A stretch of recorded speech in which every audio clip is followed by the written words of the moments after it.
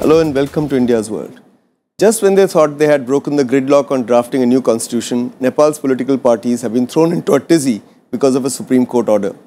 The parties had decided that Nepal would be a federation of eight provinces to be demarcated by a federal commission. This took the most controversial subject out of the drafting process as the parties had been bickering over federalism since 2008. They also decided that Nepal would be a parliamentary democracy with an executive prime minister, that there would be two houses of parliament, eight provincial assemblies, and an independent Supreme Court. There would also be a constitutional court which would last for 10 years. In effect, then, most of the contentious issues had been sorted out by the big political parties through dialogue, but outside the Constituent Assembly. However, in response to a petition, Nepal's Supreme Court last Friday issued an interim order staying all this. It ruled that the issues of state restructuring, that is, delimitation of federal states, number of federal states, and their names, should be decided by the Constituent Assembly and by not anybody outside it. To discuss the road ahead for drafting a constitution in Nepal in view of the Supreme Court judgment, we have with us a very distinguished panel of experts. We have with us Ambassador Jayant Prasad. He was India's ambassador to Nepal. Besides Nepal, he's also been India's ambassador to Algeria and Afghanistan, as well as permanent representative to the Conference on Disarmament in Geneva. We have another ambassador from Nepal, uh, Ambassador Rakesh Sood. He was India's ambassador to Afghanistan and Nepal and permanent representative to the Conference on Disarmament in Geneva. And Ambassador Shivshankar Mukherjee, he was also India's ambassador to Nepal, Egypt, and High Commissioner to Nigeria and the UK. So we have three distinguished Indian ambassadors to Nepal who know Nepal like nobody else.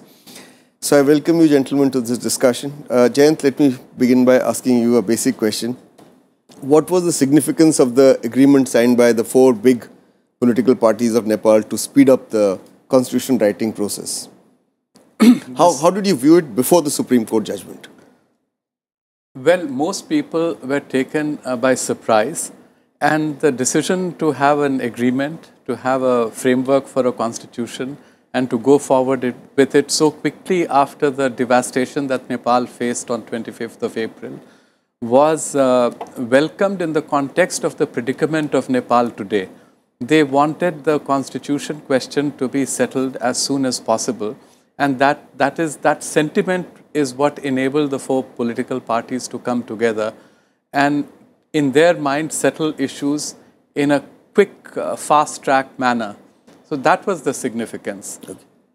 Um, Rakesh, do you think that Nepal Supreme Court has now put a brake on this process of uh, fast tracking the constitution drafting process? It has put a brake, certainly. But I think there are two factors that were behind this uh, coming together. One was that after the earthquake, the Nepal government was seen to be somewhat at sixes and sevens in not being able to discharge its responsibility. You had a number of uh, foreign teams working in Nepal, including from India, of course. That was one. And the second was that this brought a certain amount of discredit to the political leadership that over the last seven years, they had been unable to come to an agreement on some of the contentious issues.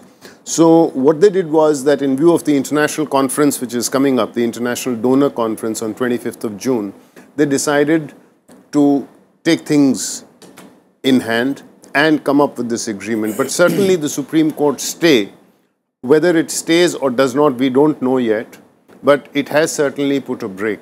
Okay. Uh, Shiv, uh, the agreement that the various political parties had reached was only a political agreement and it would, in any case, the various provisions would have to be ratified uh, or voted on by the Constituent Assembly in any case. So, uh, the Supreme Court could have said, for example, that look, ratify it uh, in the Constituent Assembly. Give, give advice rather than stay the whole process. Well, uh, you know, this question of a stay order, yeah. I'm afraid, uh, if not the whole of South Asia, certainly in Nepal and in India, uh, the stay order endemic disease is well entrenched. I mean, you can get a stay order on anything. And uh, it is followed, it is law. Uh, I don't think it, it, is, it was, I, I, I, think the court would have overstepped its bounds if it had started advising the Constituent Assembly and how to go about this and that. To give the court its due, if it interpreted the interim constitution which says that the delimitation uh, and so on should be done by the Constituent Assembly and not by a agreement between major political parties outside. Although that may be the practical way of going ahead, I think the, to be fair to the court, let's let's give them the uh, due in interpreting the interim constitution, which is a which is the existing constitution. So the brake, it, there is a brake on this, uh, but I think there will be a huge sigh of relief in Nepal at this kind of agreement between the four political parties because they will have the numbers to, to push this through in the Constituent Assembly. And after seven years of wrangling and, and uh, you know, not being able to frame a constitution since the first Constituent Assembly election in 2008, uh, one would should be optimistic that you know we, we've got a constitution in Nepal coming around sooner rather than later. Okay. Uh, Jayant, if that is the case, that the Supreme Court was uh, well within its right, I'm sure it was, uh, in giving this interim order, why is it that on June 12th, the Supreme Court rejected this writ petition first, saying that, look, it's a political issue, don't bring it to us. And then four days later, on June 16th, another judge admits it and then uh, uh, uh passes a uh, interim order in a few days' time. Well, there was, uh, uh, judiciary doesn't uh, operate in a vacuum there was a growing body of opinion within Nepal, including within their political structures, which uh, said that what was done was not correct. and one of the things that was very unusual in the present instance, it, the interim constitution's provisions have not been respected in the past, but the manner in which that has been done is a very judicially sound one. For example, in 2008, the Constituent Assembly was given a tenure of two years. This was successively extended because of its inability to frame a constitution within the time frame. Each time that they wanted to extend the constitutional validity of the duration of the CA, they passed a constitutional amendment amending the interim constitution. Had this interim constitution's article 138 been amended, it clearly specifies that the names, numbers and boundaries of the new states will be determined by the Constituent Assembly. All that had to be done was a constitu constitutional amendment to have been passed, setting aside this article or suspending it. Why was it, it not passed? Because they wanted to ram through this decision quickly. That's why it was not passed. All right, we'll, we'll discuss this further, but we need to take a break at this point. We'll be back again in a bit. Don't go away, stay with us. Welcome back. We're discussing the constitution drafting process in Nepal and how it's been impacted by a stay order by the Nepalese Supreme Court on the settlement reached between the various political parties. Uh, uh, Rakesh, now we are discussing Article 138 of the interim constitution and it says, and I quote, the final decision relating to the structure of the state and federal system shall be made by the Constituent Assembly, unquote. Now that's fair enough and uh, Jayant also pointed that out. But why can't the constitutional gridlock be broken outside uh, through political discussion and then brought to uh, the, the Constituent Assembly? Why does it have to be done first in the Constituent Assembly? If consensus is generated outside the Constituent Assembly, they can always, obviously they'll have to come back to the Constituent Assembly later on for whether it is setting up the Federal Commission or uh, deciding on numbers of uh, uh, provinces. True, Bharat, you're right. But what has also happened is that we've seen a certain uh, fracturing of politics, and particularly within the Maoist party, which has fractured more than once, and certainly within the Madhesis, which of which there are now more than a dozen factions. And here, a number of Maoist parties, which were earlier under one leadership, uh, have criticized this agreement it is basically Prachand and Baburam Bhattarai, that group, which has supported it. And among the Madhesis, it is only Vijay Gachedar who has supported it. The other Madhesi leaders have been critical of it. And uh, therefore, perhaps while the four parties that have gone ahead with it, I think they control something like about 485 or 490 seats out of 601. So in that sense, they do have a two-thirds majority. But nonetheless, um, they felt that it was politically easier to come up with an agreement first rather than take it first to the CA, where in any case uh, there could be disruption activity. And let's not forget, as I mentioned earlier, we have this major international donor conference coming up on 25th of June. And um, it was imperative that the government present at least a unified look in terms of the international donor community so as to get um, a good commitment for funding for reconstruction. Okay. Uh, Shiv, the main objection of the Nepalese Supreme Court seems to have been the setting up of the Federal Commission for uh, delineation and demarcation of provinces. Um, and they quite rightly said it's job of the Constituent Assembly. So was the uh, objection of the Supreme Court limited only to this? Because they said that the Constituent Assembly's life ends when its term ends and therefore everything that it needs to do has to be done within that period. So you can't have uh, you can't have something inheriting constitutional rights, the Federal Commission, for example. Probably, but I think the main thing is, I mean, to look at it from a practical point of view, the sticking point was the federalism question. Yeah. And uh, the rest, to my mind, is detail that can be sorted out politically and then put a rubber stamp on it by, by in the Constituent Assembly. I think I agree with Rakesh. The two fundamental sort of motivations behind this uh, uh, leap into to overriding the you know the problems that have bedeviled the constitution making for seven years was a during the earthquake it is true the government was not visible I mean, uh, there was in fact a fear that the only thing uh, among the people of Nepal who, you know, brought in democracy through the Andolan, that the only organized force, the only organized Nepali force that was seen uh, during those, those awful days was the Nepali army, nothing uh, from the civilian government. One was that to refurbish that image that we are a working government, we can do things, and of course the donors' no, but conference. I was more on the constitutional question. Uh, the Supreme Court is saying that constitution writing stops, and everything must be finished within that. Must not leave any task uh, as an area. That, as that I said, practically, if these four parties have agreed on uh, a certain thing, uh, they have the numbers in the Constituent Assembly to amend the Constitution. they don't have the consensus. They have the majority, and this constitution is being written through consensus. You know, I've, the interim constitution itself will give you a guide on that. It almost broke down right up to the midnight hour.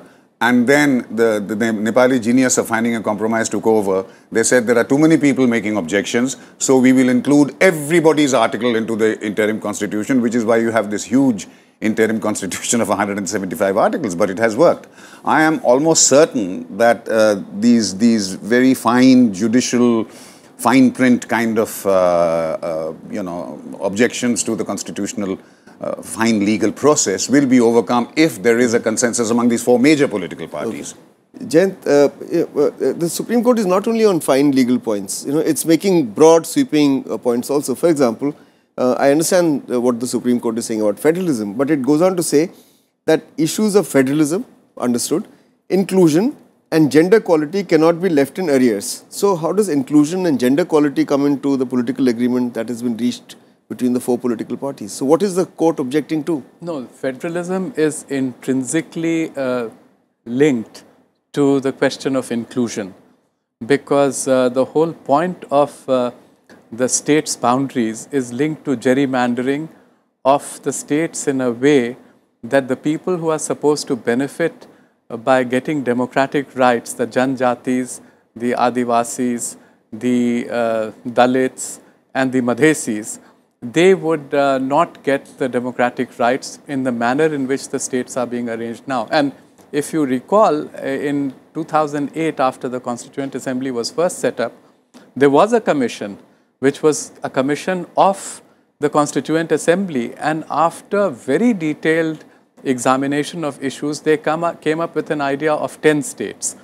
Uh, sorry, 14 states. And these 14 states were seen as too profligate by the rest of the Nepali elite and population.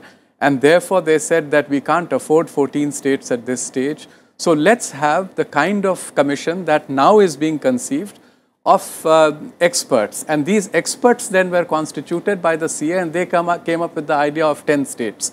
So this is going to be a problematic issue, whether it is settled now or settled I, later. I, I, I, agree, but I'm merely saying that the court is presumptuous in, in, in sort of prejudging uh, the, the, the commission, which has not even been set up. I wouldn't say that because uh, there are a couple of points in the petition on which the court hasn't even okay. responded. And these points are important because they are again in the interim constitution. For instance, the fast tracking of this uh, procedure has meant that the one month period in which the people of Nepal are supposed to comment on the package, the feedback from the public, informed public, that has been short circuited. And the second thing which is being short circuited is the idea that every article will be voted on or agreed by consensus when it comes up before the Constituent Assembly. The present constitutional package is being presented as uh, in its entirety as a package. Okay. And the CA is being asked to vote upon it in one lump. Okay, not, And not clause by Not clause. Not clause by clause. And this is another objection of Okay. people who. So, so we'll, we'll wait for that judgment, but we need to take a break again at this point. We'll be back again in a bit. Stay with us. Welcome back. We're discussing constitution drafting in Nepal. Uh, Rakesh, how could the Supreme Court issue an order without hearing the political parties against whom the, the charges that they did this deal outside the Constituent Assembly, or even hearing the government of Nepal? You know, does it seem like a unilateral action? And are we witnessing here uh, an activist Supreme Court interfering in the political processes and the constitution making processes? I think that is a fair assumption. My guess is, practically speaking, that we will see an appeal against this because this was a single judge bench. Uh, we will perhaps see an appeal in which we will have a larger bench which will consider this question. But practically speaking, Bharat, if you look at the whole federalism issue, even before the four main principal political parties announced their agreement on 8th of June, I think before that, in the discussions, we had seen a reasonable degree of convergence as to the number of provinces and also as to their delineation. The sticking points were essentially five out of 75 districts, you know, at the eastern end and at the western end of Nepal. And these were the sticking points. So, by and large, the political process had reached a fairly advanced stage of consensus development. These three or four districts, which were left out where there was, uh, where passions were high, were the ones which needed to be cooled down. So, the Federal Commission, which essentially has been given only six months to complete its task, is not going to, in my view, reopen entirety of federalism packages, but basically come up with ways and means of addressing concerns so that the final aspects of uh, delineation can be put into place. But Shiv, clearly there are groups in Nepal and political parties in Nepal which feel left out of this process. They think that these bigger political parties are, you know, pushing their way through. And here we were talking about an inclusive Nepal, and even in the at the political level, uh, before writing the constitution, they are not including us. So you know, a process of inclusion cannot begin by exclusion. Well, you're absolutely right in the sense that if you look at the history of the- evolution of this whole process over the last seven years, this is precisely the point on which uh, you know things have usually broken down. Uh, what Rakesh referred to as this this whole business of how really to carve up Nepal into acceptable, you know, delineated districts. I mean, the fight has been very, at one level, very simple: the vertical versus the horizontal. I mean, the the ruling Well, it's also elite- about the uh, ethnic versus uh, mixed the, ethnic. the Pahari, the, the ruling Pahari Bahun Chetri elite, which wanted a vertical kind of delineation, so that they controlled, they kept controlling their, uh, where they had influence in the Tarai. And then after 2008 and the Andolan, the, the resurgence of the aspirations of the Madheshis and the Janjatis and the Dalits and so on, who wanted uh, a, a completely different, a, a horizontal kind of delineation. The five districts he's talking about exactly were the sticking points and which led to the the potentially future Prime Minister Khadga Prasad Sharma Oli saying that if these people don't want to uh, stay in Nepal, they can go to Eastern UP and Bihar. Uh, uh, so let- we are not at the end of the road. We, no, we don't want to go too much into uh, uh, Nep- Nepalese Okay. map making. But uh, on the question of what motivated political parties to come to this settlement, you know, people have said earthquake focused their mind and they wanted to uh, present a united face to the donor community. But were they the only reasons? I, uh, was there not political ambition of he's named the gentleman who thought that he's has to become the next uh, uh, prime minister because this is his party's turn. There were others who want to escape war crimes uh, trials and want access to power. They're out of the government just now. Uh, Vijay Gachadar, Johnny come lately to Madhesi politics, wanting to accrue uh, more power to himself. So, were petty uh, political considerations not uh, a motivating force? Now no, we are I think there was a larger political consideration, not petty considerations. And the larger consideration was that this constitution making effort has gone on for far too long. Then why not and take the others also with democratic- you? And the democratic processes are getting undermined because people's faith in the electoral system itself is going away. And the question of taking other people along will come into play now. I think let's look at the Supreme Court judgment as a corrective. Let's look at it as a signal to the Constituent Assembly and to the major political parties that look, we are in sympathy with this idea that there should be a constitution, but please be more consultative. Please follow the procedures which follow the guidelines, follow the framework. After all, it was decided already, and as Rakesh has said, the differences are very small. The differences are on Jhapa Surang, um, Morang, and Sunsari on the eastern side, and on the western side, Kanchanpur and Kailali. It is going to be settled, and I agree with also your initial question was that uh, would it not be proper or would it be improper uh, for the Constituent Assembly to leave over certain technical issues to be decided later? In my reckoning, that's the only way to do it because there is no other solution. But they will have to do it through a consultative process which, of which the Nepali people and politicians are capable of. Okay. Rakesh, why is it then that uh, Nepalese commentators are saying that besides the earthquake, it's really these full, uh, four political parties uh, which wanted to divide the cake amongst themselves, and that's why they, they reached the agreement. KP Oli, Prime Minister, uh, Dr. Baburam Bhattarai, Chairman of the new Reconstruction Commission, so people are saying. Prachanda and other party men wanting to get key portfolios in the government. Vijay Gachadar trying to uh, sort of project himself and solidify himself, consolidate himself as a Madhesi leader. Well, that is true. But then, Bharat, as I mentioned earlier, in 2008, in the elections, what we saw were two new political forces emerging. One was the Maoists and one were the Madhesis. Now, both these forces have been incredibly fractured. And in the process of fracturing, it is the Prachand Baburam group which has become the dominant group in the Maoists. And among the Madhesis, it is basically Gachedar who represents a large chunk of uh, the Madhesi uh, strength in the Constituent Assembly. So naturally, they are the ones who are trying to carve up the spoils of office, as it were. And uh, the others who are outside it will have to be brought on board in some manner or the other. There are enough options in terms of whether it is cabinet positions, whether it is uh, commission chairmanships, and so on. Or once the provinces come into being, there will be provincial leaders, provincial assemblies. So eventually, the situation will settle down.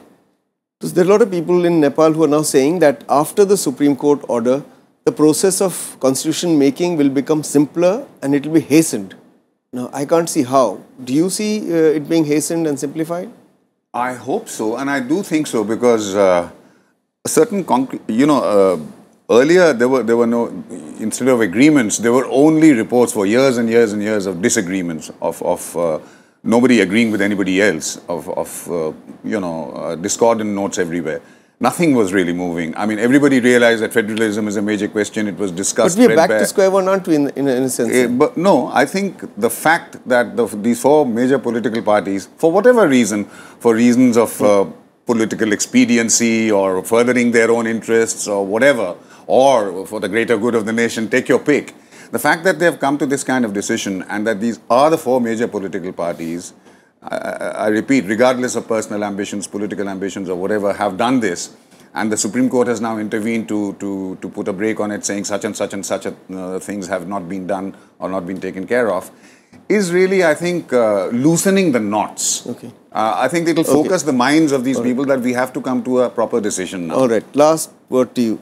Do you think the process of constitution making has been simplified now and hastened now by the court order, or has it been stalled? I would say, uh, Bharat, this is a corrective, and I think uh, constitution making will go right back on the correct track and reach a conclusion quickly. Okay. I think uh, this is going to be helpful and not unhelpful. All right. On that happy note, uh, we've come to the end of this discussion. I'd like to thank you, Ambassador Shiv Shankar Mukherjee, Ambassador Rakesh Sood, Ambassador Jayant Prasad, for coming here and discussing this complicated subject with our viewers. That's all we have for you today. We'll be back again as usual next week. Till then, goodbye and thanks for watching India's World.